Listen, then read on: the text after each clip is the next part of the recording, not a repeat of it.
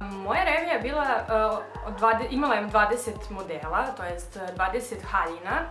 E, pošto se ja bavim oslikavanjem tekstila, naravno da je to bio, akcent je bio u stvari na samom oslikavanju, naravno i zaposlen na haljinama. S obzirom da sam ja novi dizajner njima tamo, znači po prvi put idem i oni mene prvi put vide, ja njih, odlučili smo da spojimo možda dve kolekcije, s obzirom da sam dobila poziv 20 dana pre revije, pa nisam imala mogućnosti da odradim svih tih 20 haljina. Uh, dogovorili smo se da spojimo te dve neke lepe stvari, a to je moja prva kolekcija, Aninesen Beauty, koja je inspirisana hippie pokretom, a druga kolekcija je Blossom, koja je zaista nova i po prvi put je predstavljena u Rotterdamu tamo. Inspiracije su uh, vilenjaci, priroda, cveće, nekako se to sve zajedno spojilo. Mislim, ja sam našla to neko jedinstvo zajedno uz pomoć svih ljudi koji su pomogli oko same, u stvari, samog izgleda revije.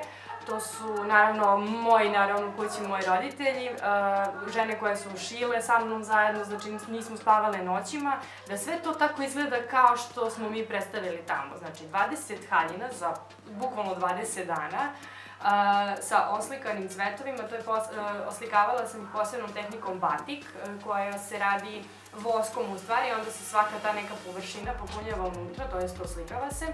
I sve te haljine su dobile neko jedinstvo uz muziku, uz sve neke boje i generalno sav izgled za koje su se pobrinule šminkeri, frizeri i naravno žene koje su radile nakit odavde iz Niša, gospođa Olgica i Ivana i stvarno mi je drago što smo se nekako sve spojile i našle to nešto da, da, se, tako da se tako predstavimo svi mi zajedno tamo.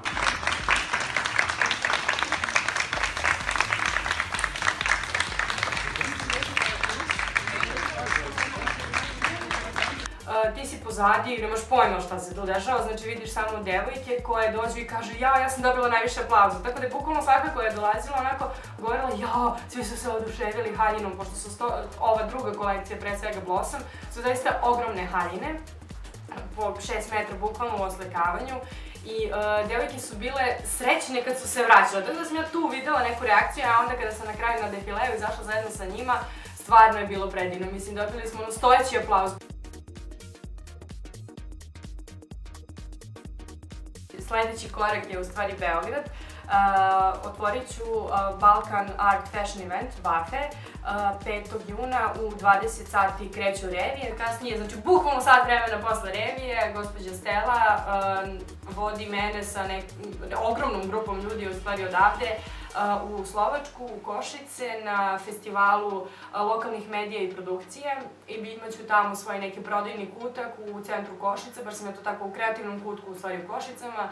E, to je to za sada, ono dalje vidjet ćemo kad se budem vratila.